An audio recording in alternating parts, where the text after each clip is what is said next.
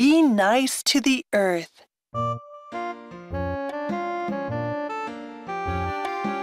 Old Man Toad was a wise old toad, and everyone respected him.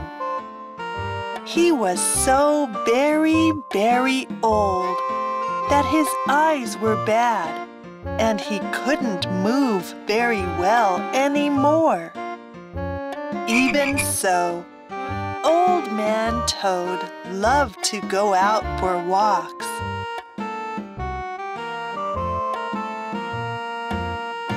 Hello, Old Man Toad. The weather is getting warmer, isn't it? A bee named Honeywell greeted Old Man Toad as he buzzed through the air. Hello there, Honeywell. It's a fine day, isn't it? Have you gathered a lot of pollen? I'm afraid not. There aren't very many flowers around lately. Oh, well, they'll come soon. And when they do, you be sure to gather up lots of pollen. Old Man Toad continued down the path on his flopping feet. A little ways further, he came across a little girl who was weeping.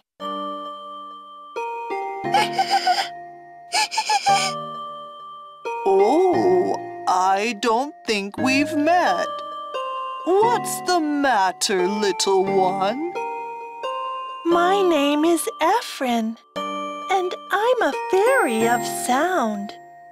I was born from the voice of the earth, singing of spring.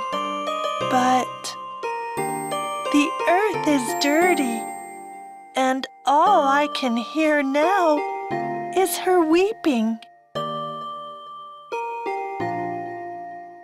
Ephron floated up into the air and grabbed onto a sack of garbage. But the sack was so big and heavy that she couldn't move it. A flower is sprouting here under the garbage that someone left behind. But the flower can't grow underneath this sack. It makes me very sad and it makes the earth very sad as well. Oh, I see. You're a very gentle girl, aren't you, little Ephron? Old Man Toad wanted to help Ephron. Let me help you. I'm quite strong.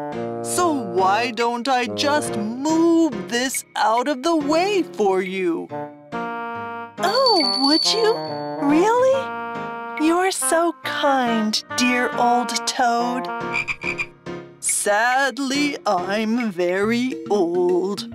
And I'm afraid that I can't see very well. So, can you tell me where the garbage is? Ephron nodded happily. She took Old Man Toad by the hand and led him to the garbage.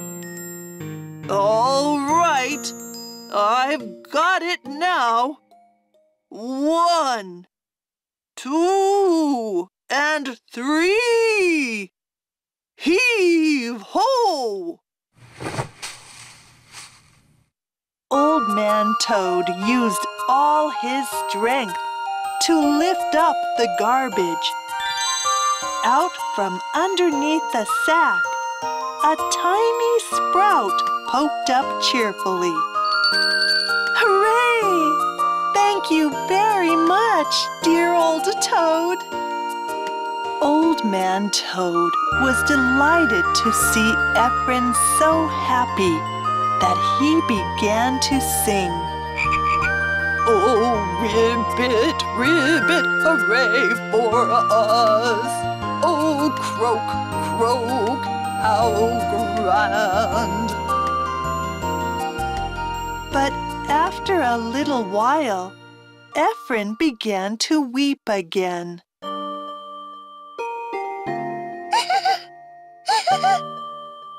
The garbage is gone. Why are you still crying? I hear the earth weeping again. She says that the people have thrown away mountains and mountains of garbage. Hmm, that's quite a problem. I don't think that the two of us can solve it alone. Old Man Toad scratched his head.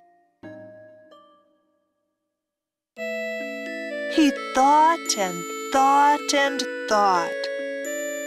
At last, he spoke to Ephron gently. First, let's clean up the area around us. We'll do what we can, little by little. So Old Man Toad put Ephron up onto his shoulders and began to walk. Dear old Toad, where are we going?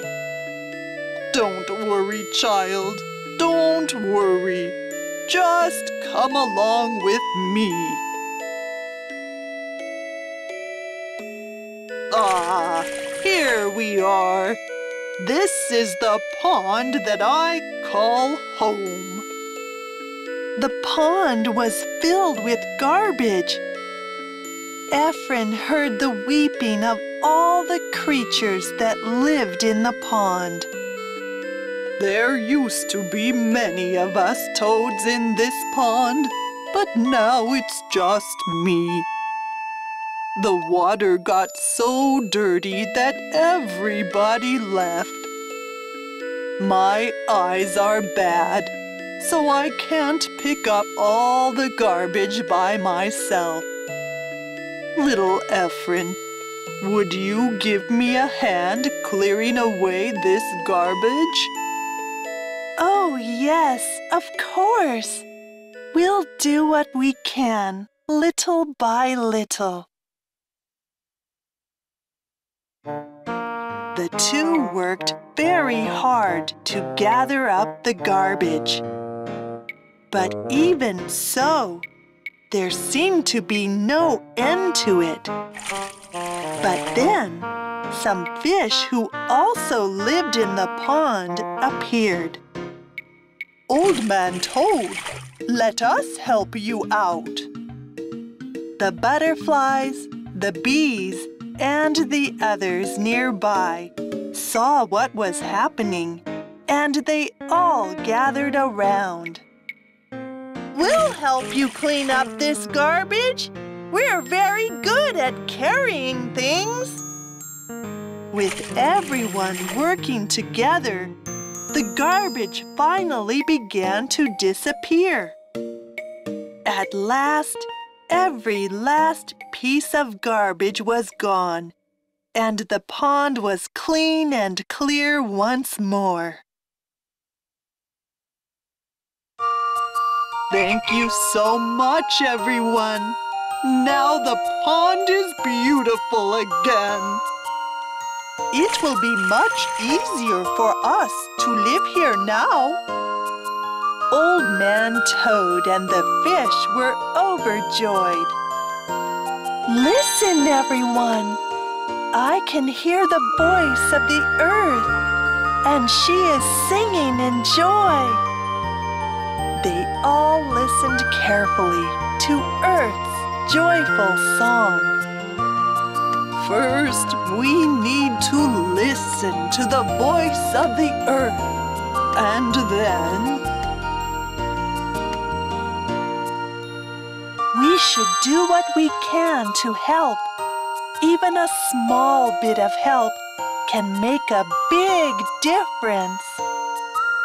And we mustn't forget to always be kind and thoughtful to the earth.